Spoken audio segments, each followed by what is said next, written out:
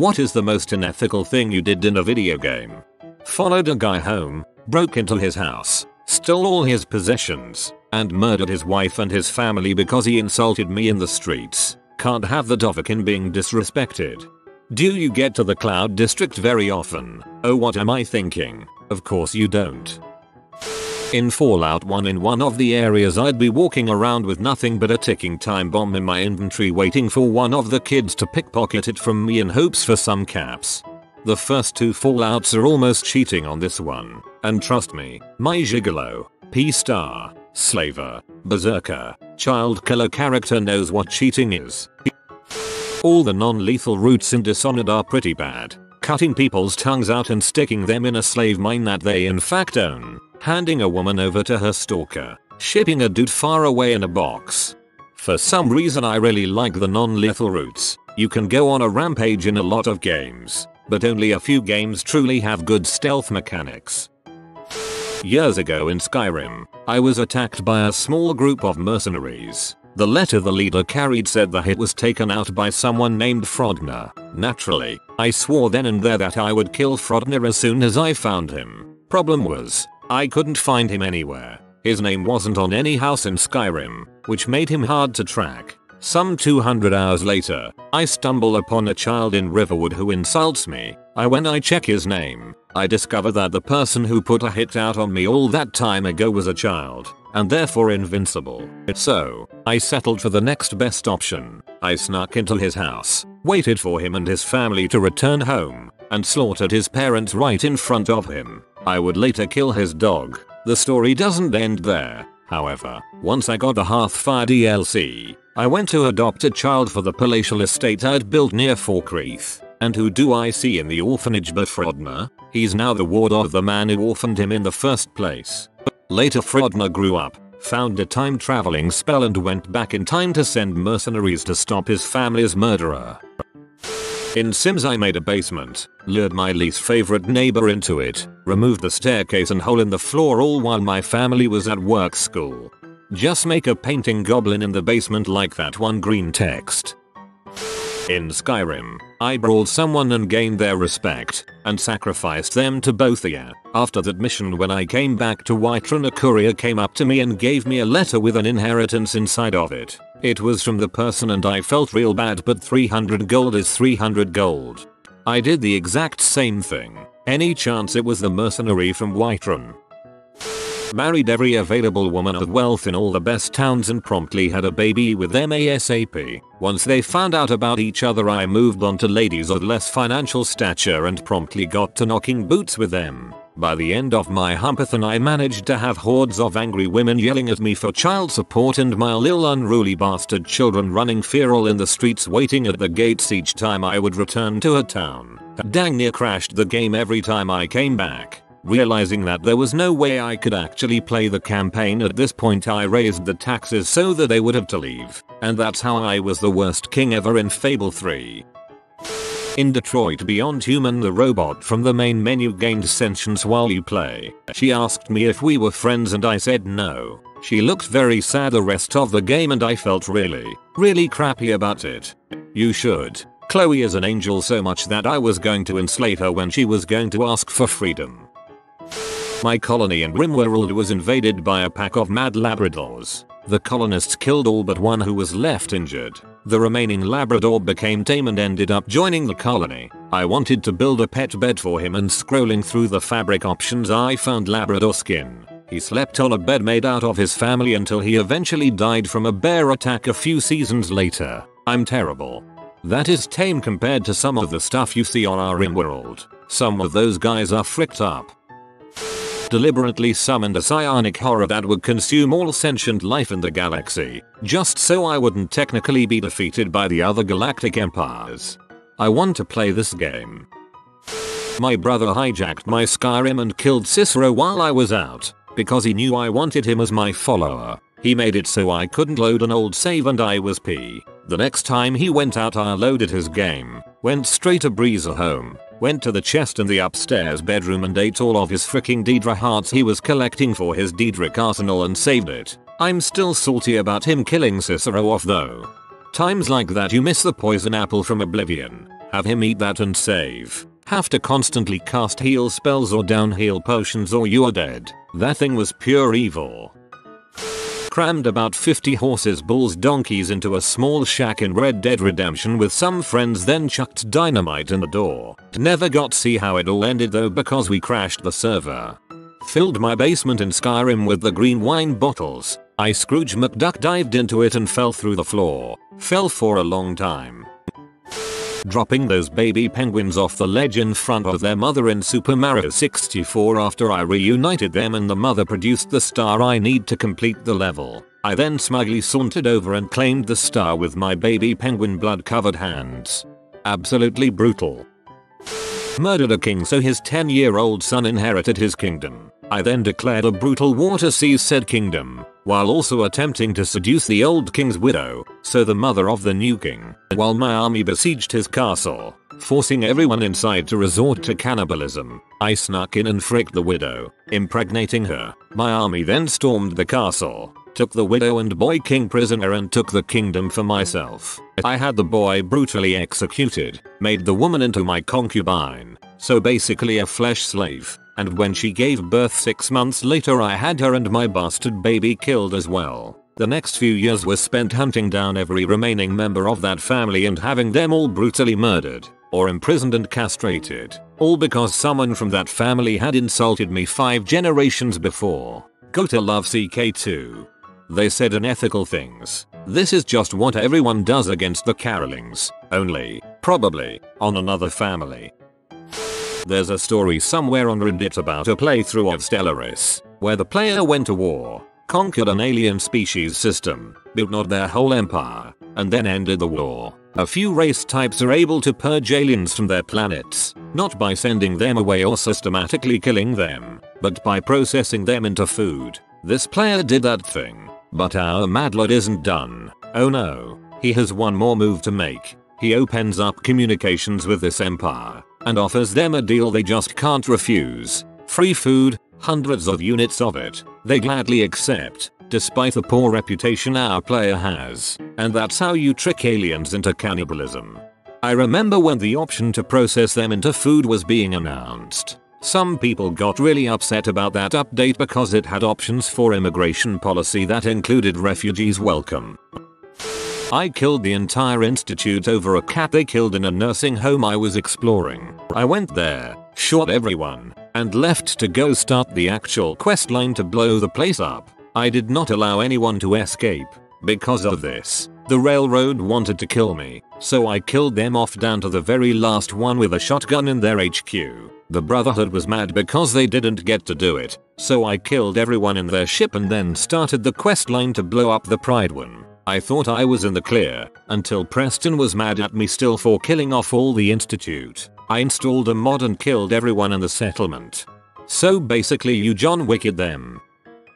Ages ago, I was in Alterac Valley, wow, on my human rogue. While in stealth I witnessed a honorable 1 volt 1 between an orc and a human warrior. I did not help the human. They were going at it fully for a good 2 minutes, with skill, honor, bravery and valor and eventually the orc was victorious with only 2% left remaining. I then proceeded and backstabbed him, finishing him off. Another allied player nearby whispered me you freaking bastard. Being on my rogue, I took it as a compliment. I didn't do this but my brother had a guy assume he was female Ireland proceeded to flirt with him and give him in-game items. My brother strung this guy along to get stuff and make a ton of in-game progress. Oops. Met your brother probably saved a few actual girls from having to deal with this guy bugging them. Snuck into the home of an elderly couple looking for food, but was caught though not apprehended. The husband explained that everything in the fridge was all they had, including his wife's medicine, so I left out of pity. Several days later however, I was starved and needed resources. I went back to the elderly home and took only a majority of what was in the fridge, leaving the medicine as I still had some semblance of ethics and morals. They did not stop me, but simply plead that I not do this to them. The next day, I visited the home once more, and the elderly couple were nowhere to be found. You gotta love hate this war of mine. I set an orphanage on fire in Deus Ex. Invisible War. Once I learned that the children were flammable I just had to Also a bunch of penguins. The children were flammable is a fantastic cutout. Okay in GTA V, you can play fetch with Chop, Franklin's dog. This a fun little minigame that makes him better trained or something. Now you could go to a park or something, but I thought it would be better to go by the side of the highway. I'll tell you right now, watching that dog dart across 8 lanes of traffic while all of the cars are desperately swerving around him is a transcendently hysterical experience. But I didn't stop there. See, you don't have to play fetch with the baseball they give you. Turns out, you can go to the weapons wheel and use a grenade. In Harvest Moon, Back to Nature, there's a big festival where everyone adds one ingredient to a giant pot of stew. You climb a ladder, look over the lip of giant cauldron, and toss in your contribution. I happened to have my dog with me. I didn't think it'd work. It definitely did. It yelped when it went in, and the whole town ate a heaping helpful of my dog stew. They didn't even like it. When I came back to the square after the festival, the sprite for my dog was hovering in midair, completely motionless. I tried exiting off screen and coming back, and he was gone. But if I whistled, he still barked. This happened in 5th grade, and I still feel like a dong about it well into adulthood. Rest easy, sweet pup, known that you tasted serviceable at best. In Civ V, I tried to trade with Morocco for their wine but he tried to rip me off and wouldn't take a fair deal. I nuked all his cities and annexed them. I got my wine. This, my friends, is an example of a dangerous alcoholic. When I play The Sims, if I can't find a good looking adult in the town for my sim to date, I will wait for a child to grow up so they can date my adult sim. Kinda creepy that I'm basically preying on children. In City Skylines, I built a huge tank full of sewage right on THR side of the city. As soon as my city hit 50k, I released the dam full of sewage. Teamed up with two strangers in the black zone in the division. When the extraction helicopter arrived there were only two free slots to extract the loot. One of them let me have his one and said I'll just wait for the next one. I secured my loot then shot them both in the back and used the other slot to also secure the loot stolen for them. Welcome to the division, guys. This is why I lurk in the shadows and stalk everything I see. There wouldn't even be a temporary alliance with you. You don't frick around in the dark zone. Too bad the loot sucks now. No real reason to go there. After getting a message from any civilization and Spore that mentioned Spode, Spore God, my policy is to melt all their planets with the heat ray. Realistically, how many people would a few dozen interstellar empires have? Second most unethical thing would be in Europa Universalis 4, when colonizing Australia, getting annoyed at natives rising up and attacking my colonies and proceeding to kill every single native in Australia so I didn't have to deal with them anymore. I mean with the Australia one, it's kind of sticking to history so there's that. I guess with GTA, too many to remember the worst, but the one I really felt the most was killing the first little sister in Bioshock. I restarted the game and played it clean after. Couldn't accept continuing the game with even one dead sister. P. Yeah, that game was a little too good at the making me care about the little sisters. I could never bring myself to kill any of them or let them come to harm. At the time I wasn't very good in English, so I only knew the basics of the story and did what the quest told me to do, and then I killed Paarthurnax. I regret it till this day. You monster.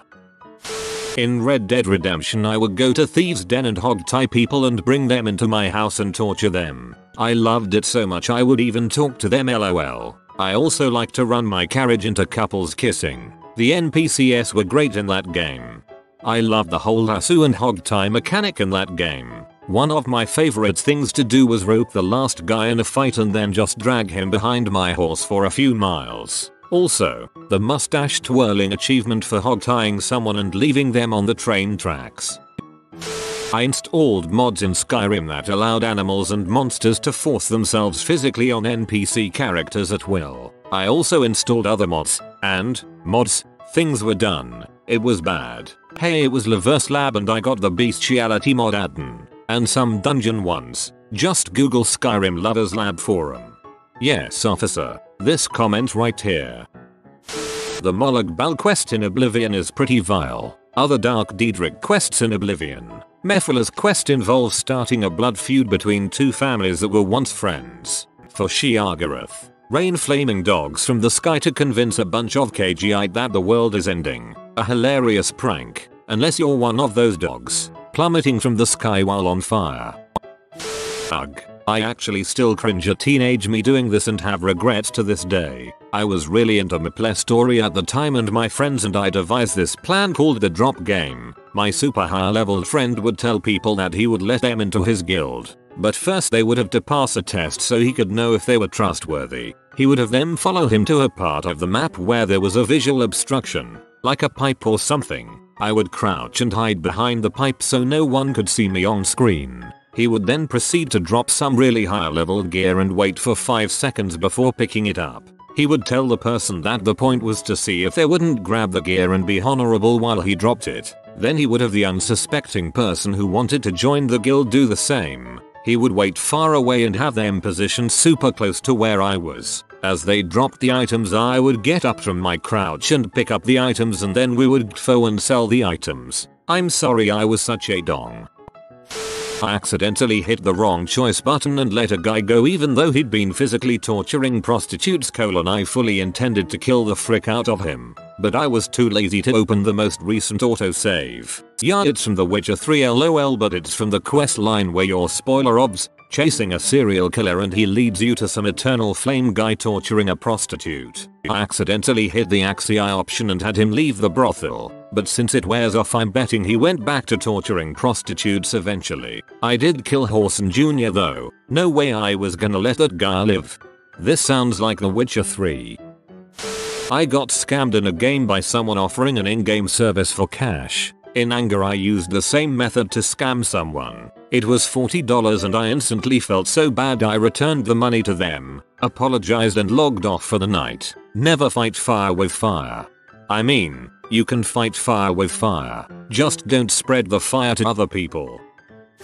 GTA 4 my favorite thing to do was spam the boat spawn cheat. It would drop a boat from about 10 feet up every time you did it. It also didn't count as you committing a crime so I would walk around crushing everything in my path with a boat. Just smashing people and cars down over and over again. Also, only driving on sidewalks is pretty fun and cruel. In FO4, Literally no raider would survive a run-in with me, even once I got the pacify command. Frick a raider. MGS5 I sniped so many soldiers they all started wearing super heavy body armor and helmets so it wouldn't work anymore. In reality, I'm completely non-violent and don't even kill bugs.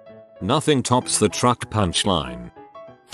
When I heard that the plot for Fable 3 would revolve around the children of Fable 2's hero fighting for the throne I started a new Fable 2 game and had as many children with as many different women I could.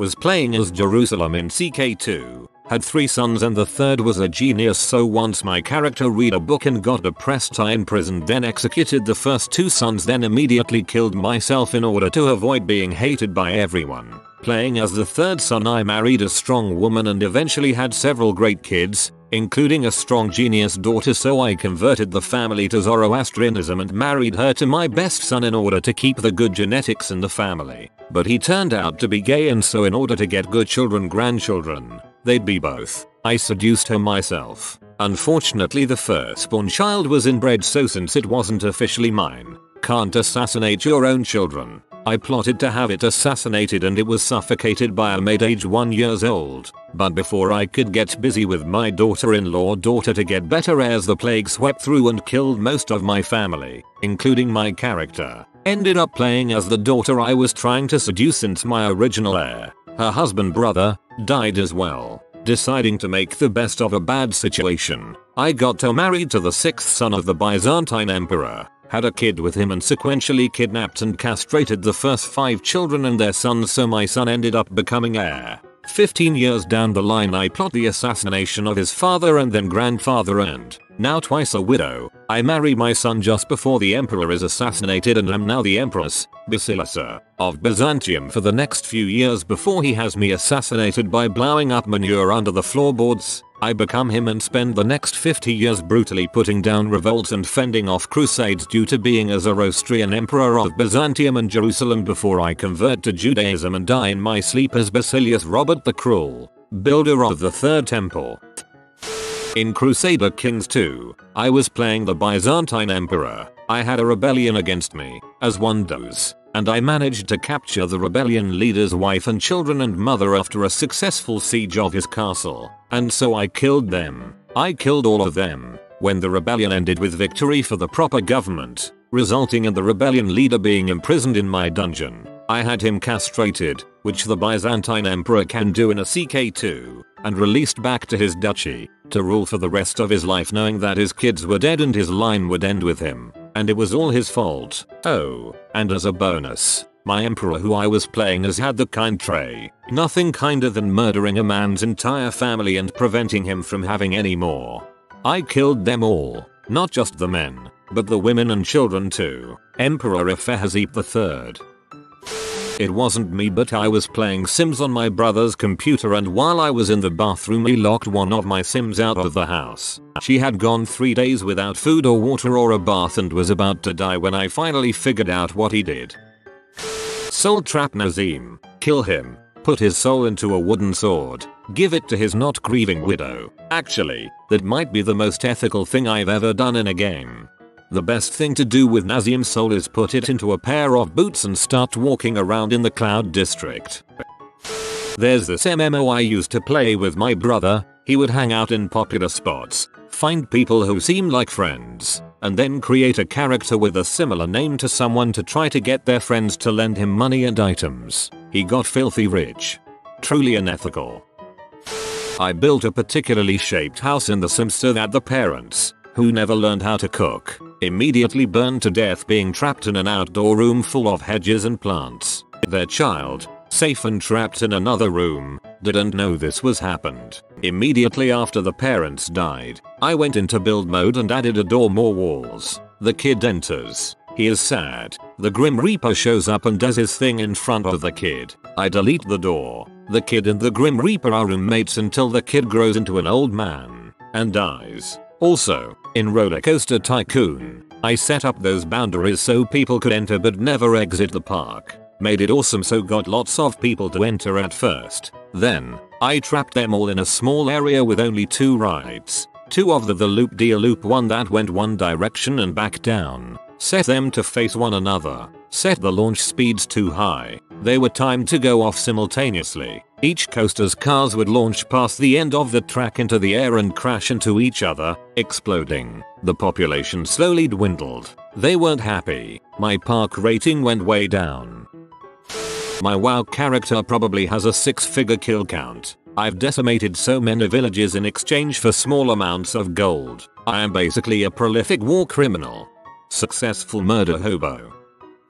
In The Witcher 3 there's a quest in which you must trick this demon inside a Jarl which involves the decision whether to throw the Jarl's baby in a fiery oven or not. I remember how horrified I was when I chose the option at the last second thinking did I really just do that turns out it was all a ploy and is either a doll or the baby gets taken out the other side hidden away I can't remember but those few seconds of thinking I actually just threw a live baby in a molten hot oven burning it alive didn't make me feel the greatest.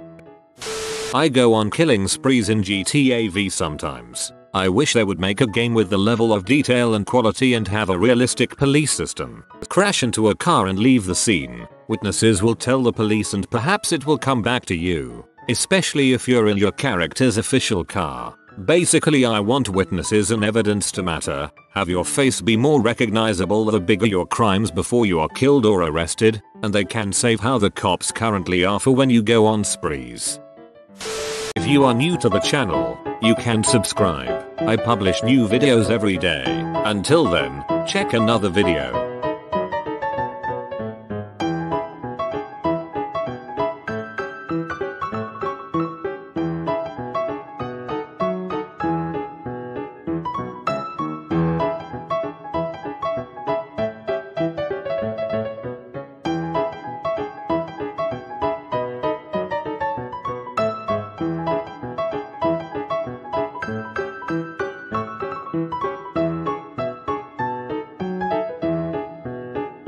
Bye for now.